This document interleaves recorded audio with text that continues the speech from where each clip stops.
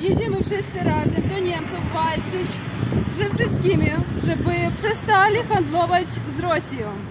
Tak. Starczy, starczy Mamy dość tego. pieniądze zarabiać na krwi ukraińskich Naszych Ukraińców. i żołnierzów i zwykłych obywateli.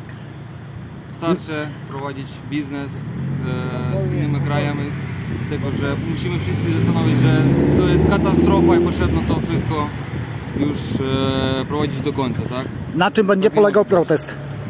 Z tego na, e, przeciw handlarzu e, Niemców, e, czyli e, ropy, gazu z Rosji. Tak, ale na czym będzie polegał protest? Co zrobicie? Zrobimy tak?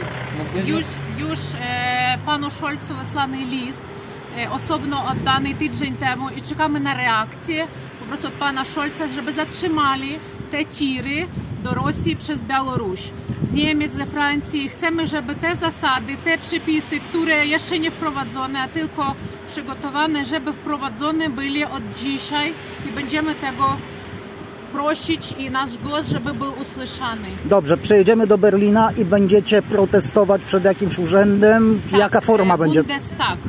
i Jaka forma będzie miał protest? E, No tam Położymy się wszyscy, wszyscy na ziemię i żeby, żeby e, Państwo zobaczyło ile już zginęło ludzi, jaką ilość e, właśnie cywilów, nie żołnierzów, bo wiecie wszyscy, dzieci. to teraz e, mamy e, na Bucze, to jest kraj pod Kijewem, że ile tam zginęło, zakatowano, zamordowano e, e, zwykłych cywilów za to, że, że oni gadali po, po ukraińsku albo byli po prostu, po prostu tak, nawet to nie ma różnicy, jakim językiem oni gadają, po prostu byli zamordowane, zakatowane, bo są Ukraińcami, tak?